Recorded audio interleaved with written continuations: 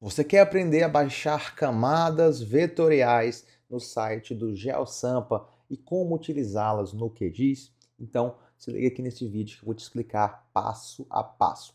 Então, antes de começarmos aqui nesse site, o link do portal GeoSampa, que tem todas as camadas georreferenciadas da cidade de São Paulo, está listada aqui no nosso portal de camadas Shapefiles dos estados do Brasil o link está logo aqui abaixo na descrição do vídeo, onde você pode baixar camadas estaduais e municipais de qualquer estado do Brasil. Para baixar de São Paulo, é só clicar aqui no estado e você vai encontrar o link do GeoSampa, o primeiro link aqui embaixo, é só clicar nesse botão.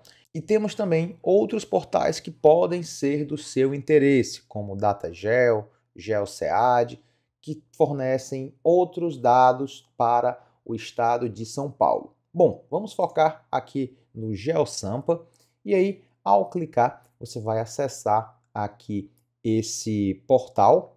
Bom, antes de mais nada, você pode visualizar aqui as camadas que tem disponíveis. É só clicar aqui na lateral, certo? Se não estiver aparecendo aqui, é só você ativar aqui nesse ícone aqui de controle de camadas e aí você pode ir acessando aqui cada um dos temas. Por exemplo, aqui transporte, bicicleta, ônibus. Eu vou ativar aqui, por exemplo, as faixas exclusivas de ônibus para o município de São Paulo.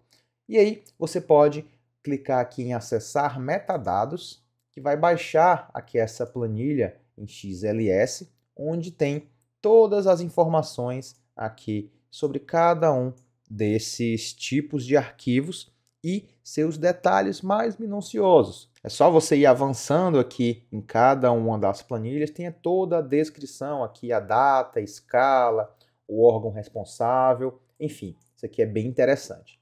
Bom, para fazer download, que eu acredito que é o que você está mais ansioso, né? É só você clicar aqui nesse íconezinho de download de arquivos, vai abrir aqui essa janela e você escolhe o tema específico que você deseja. Por exemplo, vou fazer aqui o mesmo exemplo de transporte. Vou baixar aqui, por exemplo, faixas exclusivas de ônibus. Quando eu clico aqui, ele nos fornece aqui algumas opções de download, né? Tem GPKG, que é GeoPackage, KMZ, para utilizarmos no Google Earth, e também o Shapefile, que é o mais conhecido que geralmente nós buscamos. Vou clicar aqui em Shapefile, certo? E vamos ter duas opções aqui.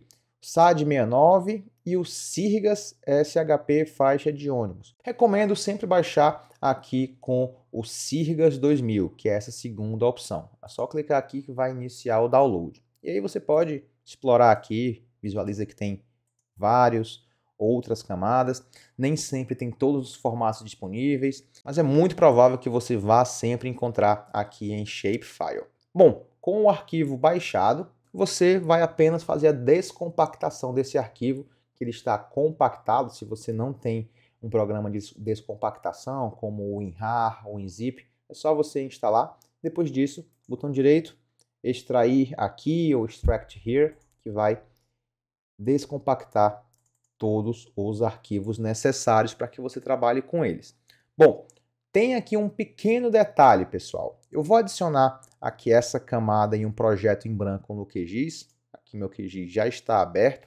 O que eu posso fazer? posso simplesmente selecionar aqui o arquivo SHP. Se não estiver exibindo aqui a extensão, é só você vir aqui em exibir, extensões de nome de arquivos, que vai mostrar o SHP, é ele que você deve selecionar, arrasta e solta aqui na janela do QGIS, beleza? E aqui, pessoal, temos um probleminha que já vou te ensinar como resolver. Ele ocorre com praticamente todos os dados que a gente baixa do GeoSampa.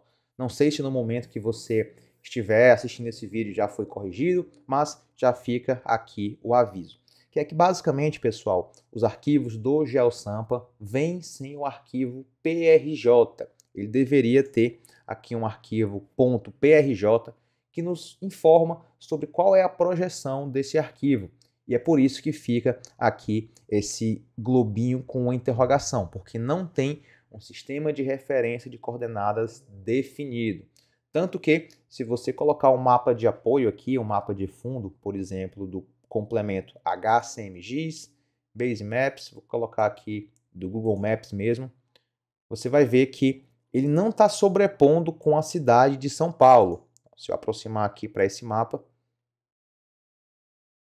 aqui em São Paulo, não está aparecendo aqui as vias. Se eu colocar aqui, ó, aproximar para a camada, ela está perdida no espaço. E para resolver isso é bem fácil, só você dar um duplo clique aqui você vai definir essa informação manualmente. E aqui, qual sistema de referência você seleciona? Bom, isso aqui você pode conferir lá naquela planilha que você baixou, mas tá aqui, ó. Sirgas 2000 TM Zona 23S. Tem até o código aqui. É PSG 31983. É só você digitar aqui no filtro 31983, seleciona aqui o Sirgas 2000 UTM Zona 23S e clique em OK. Vai sumir aqui, mas se você clicar com o botão direito, aproximar para a camada, ela vai estar aqui agora exatamente no município de São Paulo. Não estou visualizando porque ela está por baixo, mas se eu arrastar aqui para baixo essa camada, vou conseguir visualizar aqui as faixas de ônibus, faixas exclusivas de ônibus aqui do município de São Paulo, beleza? E aí, para que isso aqui seja definitivo, você pode exportar para uma nova camada, botão direito, exportar, guardar elementos como, e aí você pode salvar no mesmo local que você baixou. Vou chamar aqui de faixa ônibus. Ok? E aí, se você voltar lá naquela pasta, você vai visualizar que agora temos aqui o arquivo PRJ, que é exatamente esse que vai fornecer essa informação de SRC. Beleza? Então, pessoal, bem tranquilo como baixar aqui dados do GeoSampa. É bem intuitivo, tem só esse pequeno detalhe que muita gente tem dificuldade quando baixa aqui nesse portal, que foi até o motivo que me motivou a gravar aqui esse vídeo, beleza? Então não esquece de favoritar aquela página que temos todas as camadas de diversos estados do Brasil, beleza? O link está logo aqui na descrição do vídeo. E não se esquece também de se inscrever aqui no nosso canal do YouTube. Inscrição ajuda bastante o nosso trabalho. Então, espero que tenha gostado desse vídeo e te vejo logo mais.